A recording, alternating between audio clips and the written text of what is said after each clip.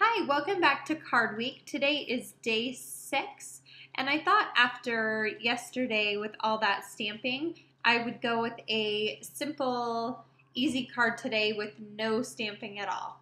So I'm using mostly the die cuts in the kit.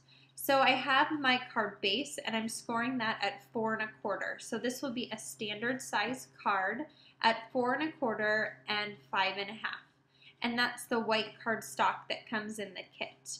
I used my little score buddy right there, and if you are a card maker, I think that is the best tool to have to do all your score lines and make sure everything is nice and even.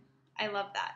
So next, I grabbed a piece of vellum, and with that vellum, I'm going to score that and fold that over the top of my card and that is just going to serve as a little background for my scene that I'm going to create on the front of my card. So I'm going to use my red line tape and adhere that vellum to the back of my card. This way, on the front of the card, you won't see any of the adhesive from the vellum. So now I'm just going to wrap that vellum around the top of the card pull off my red line tape and adhere that to the back of my card base.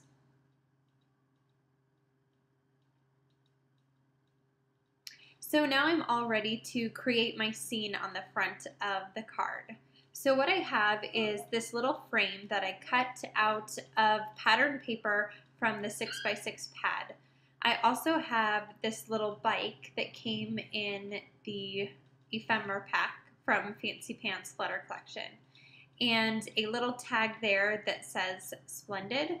And so I'm going to take my Tim Holtz Tiny Attacher and I'm going to place a staple right on the top of that tag and that will be my little label.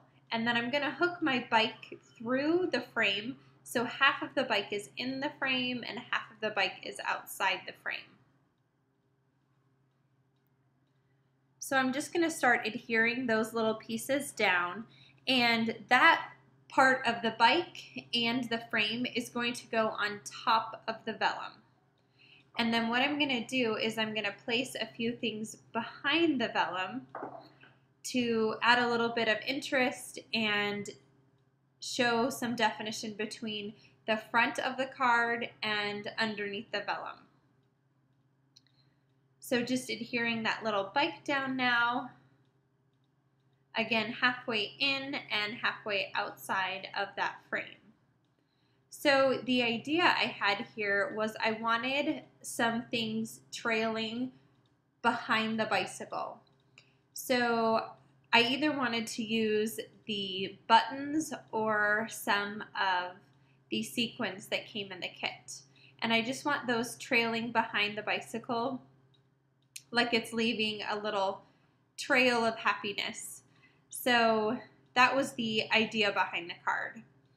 So what I'm going to do now is I'm going to grab a few pieces of that from the sequins from the kit and I'm just going to find them, arrange them behind the vellum. So I'm grabbing some of the turquoise stars and the and the gold sequins and placing them behind the vellum on that card.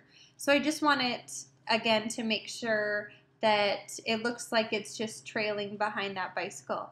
So once I find a good place for all those sequins, I'm going to go ahead and grab my multi-medium matte in from Ranger and I love this adhesive because if a little bit squirts out outside of whatever you're adhering down, because it's matte, you don't end up seeing it. And that is the best part about this adhesive. I love this adhesive.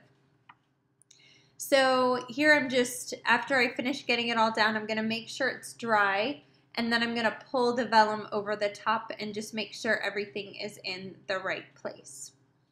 And once I make sure that that looks good, I am also going to take my tape runner and I'm going to adhere the top of the vellum to the cardstock. And I decided to do this because I felt like you couldn't see the sequins as well. So by adhering that vellum down, you could see the sequins a little bit better and then it wouldn't be moving around.